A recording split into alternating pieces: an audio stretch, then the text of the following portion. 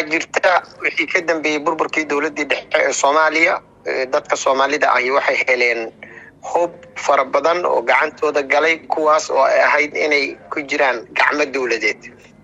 Iyago waa nasiib darro hartay shacbiga soomaaliyeed ruuxnaha ku helo magac dowladeed ruuxnaha ku helo suqyada hubka lagu kala gato ee ku yaalla guud ahaan soomaaliya ama magaalada muqdisho waxaad maalin kasta dadku maqlayaan isku dhac dhex maray laba ciidan oo ka wada tirsan dowladda. Ama ciidan dowladdu ay leedahay. Iyo nin horay madax uga ahaan jiray ama shaqaalo uga ahaa dowladda federaalk ee soomaaliya. Waxaan rabaa sababaha keena waa ciidanka oo aan lahayn talis guud oo ay ka amar qaataan. Gebi ahaan ciidamada ku sugan jamhuuriyadda soomaaliya somalilan puntland galmudug shabeellaha waxaan dhihi lahaa koonfur galbeed hirshabeelle iyo meesha la yiraahdo jubbaland ma jiraan talis guud oo ciidamada qalabka sida ee soomaaliya ay leeyihiin hadday ahaan lahaayeen boliis hadday ahaan lahaayeen military hadday ahaan lahaayeen ciidanka ilaalada xabsiyada ama kuwa hay'adda sirdoonka iyo nabad sugidda qaranka. Waxaa qolo kasta waxay ka amar qaadataa ninka maalintaas ay ag joogto. Waana nasiib darooyinka sababa guuldarooyinka soo noqnoqda ee ka dhex dhaca ciidamada qalabka sida ee soomaaliya ama maleeshiyaad horey uga tirsanaan jiray ama ka tirsan dowladda federaalk ee soomaaliya. Arrimahaas markaan eegno dhibaatada ugu badan ciidamadaasi dhex mara shacabka ayay soo gaartaa saameyn ay ku yeelataa dowladoo kale marka maxay tahay tallaabooyinka la gudbo? Dowladda soomaaliya laga bilaabo madaxweynaha jamhuuriyadda federaalka iyo xukuumadda madaxda uu ka yahay ra'iisul wasaaraha iyo taliska guud ee ciidamada qalabka sida ee fadhigiisu yahay magaalada muqdisho waxaa saaran waajib ah ilaalada iyo hubinta nafta iyo maalka muwaadiniinta soomaaliyeed waajibka ugu horreeya ee gudashadiisu ay tahay in ciidamada qalabka sida kuwooda booliiska militariga nabad sugidda ah iyo kuwa ilaalada xabsiyada ay hubiyaan badqabka muwaadin kasta oo soomaali ah. Hawsha ugu horeysa ee laga doonayo dowladda inay qabato waa taas.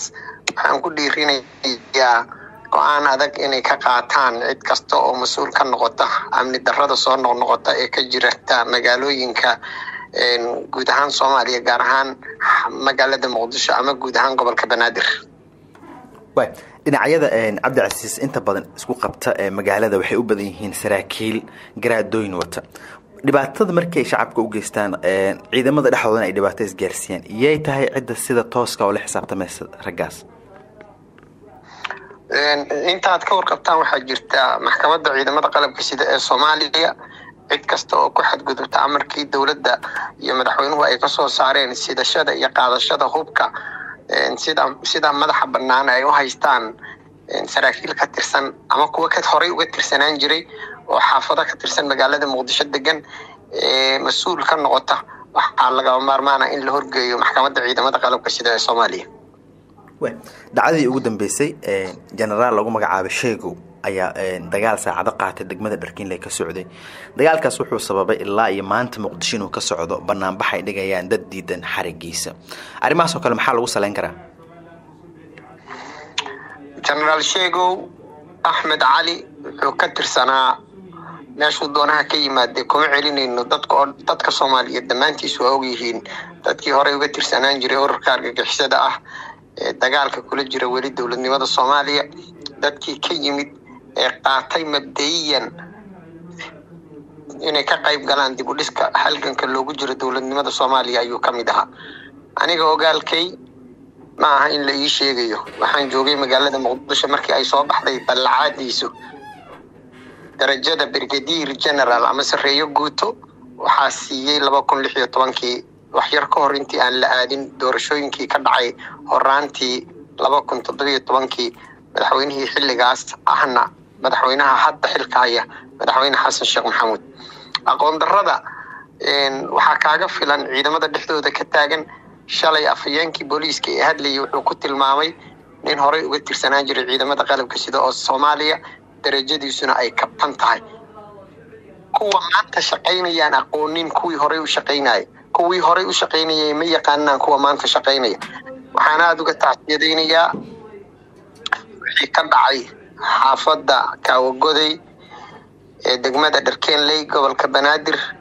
Sideed iyo afartankii saacadood ee la soo dhaafay dadka degan xaafadda dharkeenley degan xaafadda kaawagoday degmada dharkeenley sheegashadooda dabaadyadii bilihii la soo dhaafay aad aad ayay u badnayd.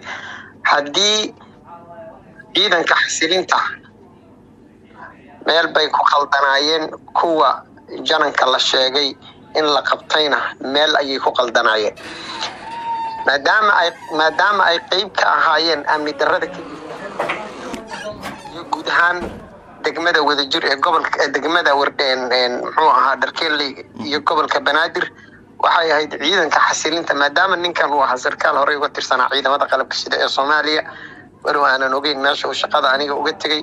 Waxaa habboonaan lahayd in erga loo diro oo la yidhaahdo ciidan ka tirsan kuwaaga waxay mas'uul ka yihiin amni darrada ka jirta xaafadda kaawagoday degmada dharkeenley ee gobolka banaadir. Labo labo inuu xakameeyo ciidanka haddii ay yihiin kuwo ay dowladdu ku og tahay inay ilaaliyaan amnigiisa. Kaba soo qaad kaba soo qaad.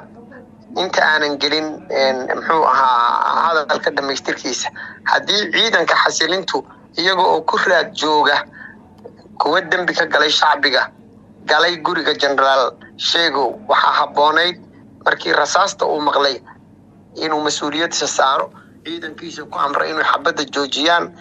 Ciidanka kuwii ugu dambeeyey ee guriga soo galay uu weydiiyo kuwa ay ahaayeen ee ay ku raad joogeen ciidankan. Una dhiiba ciidanka xasilinta ee ka howlgala magaalada muqdisho iyo guud ahaan gobolka banaadir janankuna waa dhaaftay.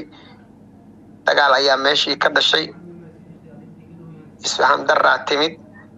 Labada dhinac dadna waa ka dhinteen dadna waa ku dhaawacmeen. Waxaan cambaaraynayaa in xubno ka tirsan ciidanka ay kaamarooyin ka soo duubeen waktigii ay isdhiibeen afar iyo labaatankii maleeshiyaadka ahaa ama askarta ahaa ee ilaalinaysay generaalka iyo jananka oo ay wadaan waxay habboonaan lahayd gurigiisa albaabkiisa in laga saaro mid ka mida gaadiidka ciidamada qalabka sida ee soomaaliya especially gaar ahaan kuwa xasilinta quruxdu sidaas ayay ku jirtay. Kacdoonka maanta muqdisho ka jira iyo dadka isu soo baxay anigoo og in muwaadiniinta soomaaliyeed ay u siman yihiin sharciga hortiisa xaqna u leeyihiin inay tabashadooda ku gudbiyaan si nabad ah. Macnaheedu ma ahan inuu dastuurku xaq u siinayo. Haddii xaq loo siiyo inay isu soo baxaan inuu dastuurka xaq u siinayo inay burburiyaan hantida muwaadiniin kale oo soomaali ah oo shacbi ah iyo hantida dowladda dhexe ee soomaaliya ay leedahay. Waxaan ku baaqayaa dadka qabanqaabada banaanbaxyada wada kuwa baraha bulshada baasabuurka ka ah ee ku dhiirigelinaya in in la burburiyo hanti qof rayid ah oo soomaali ah uu leeyahay. Anigu waxaan maqlayay haweenka soomaalida dariiqyada ay ku ganacsadaan wixii ay ku ganacsan jireen ee yaalay dhammaantood intooda badan in la burburiyey waa laga baaqsan karay waxaas. Xubin kasta oo xubin kasta oo lagu qabto inay amni amni daray qayb ka tahay. Taayir in waxay heli karaan inay banaanbax nabadgelyo dariiqa ay doonaan magaalada muqdisho xitaa madaxtooyada horteeda fariistaan. Si nabadgelyo ah u fariistaan iyaga oo tabashadooda ku gudbinaya aamusnaan. Laakiin meeluu sharciga ka sheegayo ma jirto in hanti qof leeyahay rayid ah ama dowladi leedahay dab la qabadsiiyo. Mana ahan arrin la aqbali karo. Cid kasta oo mas'uul ka ahna sharcigaa la horgeynaya waay dhacdooyinkan oo kale markay dhacaan sidee ayay tahay in loo wajo wajihi karaa waxay tahay marka ciidamahan isaqoon isku dhacwaa jira. Waxaan rabaa horta dadka aan la hadlayaa inay garan karaan. Friendly fire wax la dhahaa jira. Ciidan dagaal ku wada jira oo dhinac ka dagaalamaya ayaa rasaasta kor kaga timaada ee diyaaradaha duqaynta ah ay dhici kartaa inay waxyeella ka soo gaarto.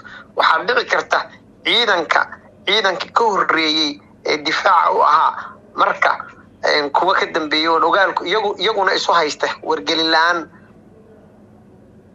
gadaashooda inay rasaas ka bilaabaan dacdooyinkaas oo dhan waa dhici karaan waxaa la rabaa khalad waa dhacayaa bini aadan ayaynu nahay annaga haddaan nahay dad soomaaliyeed waxaan la midnahay dadyowga kale ee adduunka ku dhaqan khaladaad waa dhacayaan. Waxaa la rabaa in samir lagu daro. Waxaan ku jirnaa halgan jamhuuriyadda soomaaliya lagaga xoreynayo kooxaha duulaanka ku ah dowladnimada soomaaliya diidan nabad inuu qof soomaali ah ku noolaado.